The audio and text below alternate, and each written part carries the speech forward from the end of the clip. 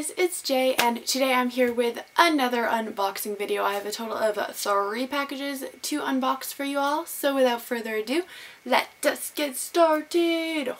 The first book is from I don't know because there's no place saying where it's from. So we just gonna get into it because I'm impatient. It's from Penguin Random House. The book is Dunbar by Edward St. Aubyn and apparently it is a retelling of King Lear. I've never read King Lear, so I don't know if I like it or not, but I do usually like retellings.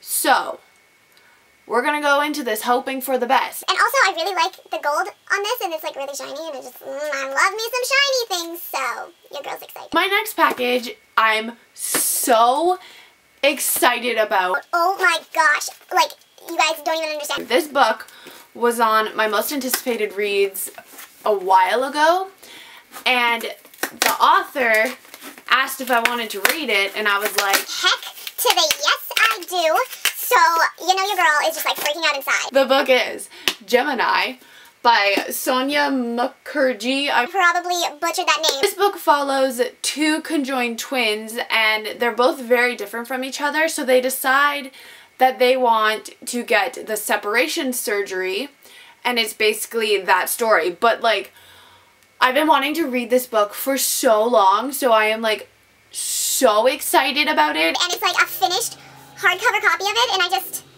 I can't thank you so much to Sonya. Like, ah, your girl is so excited. And then my final package is one that is also from an author who contacted me asking if I wanted to read her book and I said okay because it sounded really interesting to me.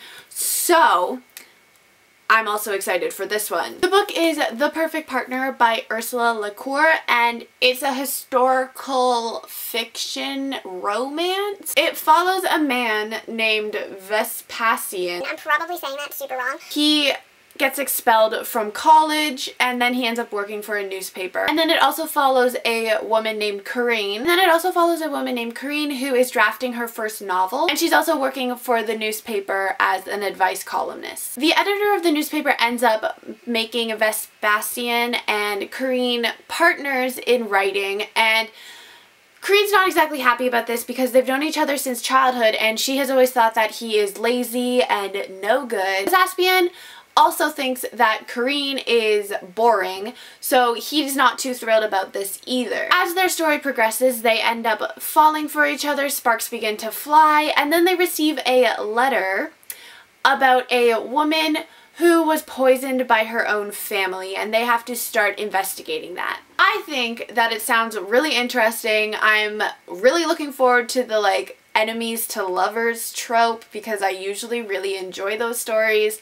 So I'm going to read this and let you know what I think of it when I'm done. Alright guys, so that was my unboxing video. Let me know down below if you've read any of these or if any of these interest you. And I will see you all in my next video. Goodbye!